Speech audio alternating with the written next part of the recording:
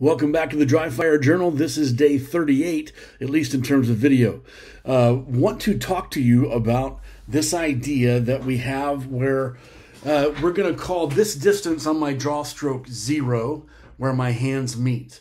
And then zero, one, two, three, four, five, six, seven, eight, nine, ten is where I want to fire.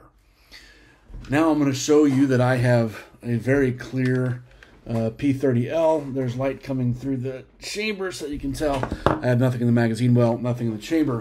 So if I add a gun, this is after step one where I've got on the gun. Step two, the gun comes straight up out of the holster and level. Step three, the hands meet. So we're focusing on micro influences from step three to presentation and shot.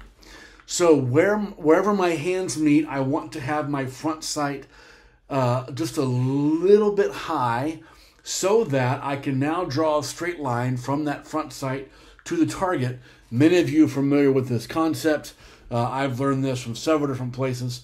Uh, but I, I really like the idea of thinking about this distance as zero.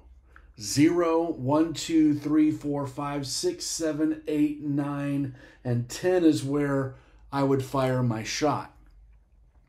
Here's what we're talking about today. Here's what I'm inviting you to focus on. Are you able to draw from the holster to this place? I think you are. But are you also able to draw from here to the place where you are then going to coast. And if you don't know what I'm talking about, go back through the Dry Fire series and look for a video called Bounce to Coast. Because what I want to do is bounce out of the holster and be able to coast at the very end. That lets my dot drop or my front sight uh, settle right where it needs to be.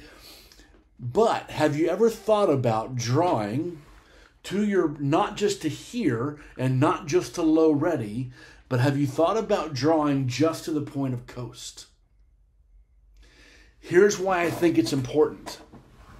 If I draw to the point of my coast, I now know exactly more uh, concretely and more physically and more kind of out in space. I know uh, almost with proprioception where I want my coast to begin, and the coasting part of my draw stroke becomes more consistent. And if the coasting part of my draw stroke becomes more consistent, that means my presentation, the target, becomes more consistent. And the more consistent I can be in my coast, the more confident I can be in my bounce out of the holster. Give this some thought. Let me know what you're thinking. Throw me a comment, send me a message, whatever. Let's talk. I think you might find this more helpful than you initially realize. See you tomorrow.